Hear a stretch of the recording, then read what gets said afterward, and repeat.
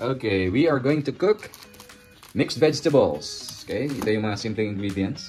Meron tayong whole kernel, corn, meron tayong bagu beans, meron tayong carrots, sayote, turnips or singkamas, at saka yung ready na na mixed vegetables. Meron green peas, meron chopped carrots nandiyan, cublets, at saka yung uh, corn. So, pag sasamahin natin yan, iluluto lang natin siya sa ating butter and we'll see kung ano yung itsura Mm, turnips. So, we'll just use half. Okay lang. Then, yung sayote, ang style ng sayote, hindi ko alam kung ginagawa ka ni mami. Pinuputulan yung dito sa dulo. Ayan. And then ito, may ikot-ikot yung dito. Ayan, Para makuha yung Ginagawa mo ba ito, mami? Ito yung ginagawa rin sa sayote. Para makuha yung bula. See?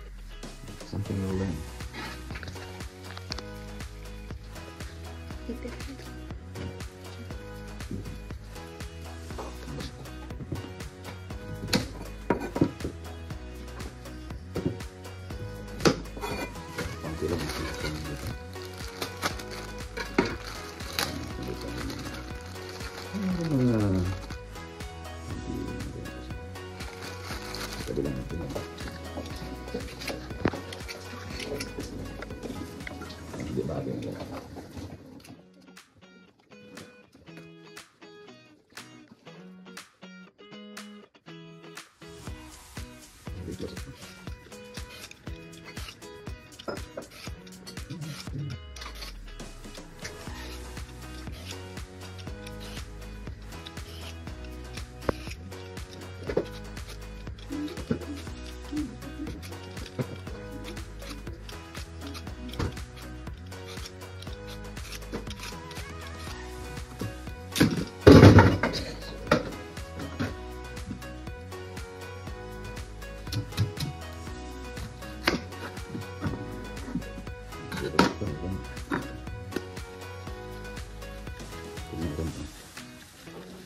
Dati kung i-add mo ko kaya yung nahulog sa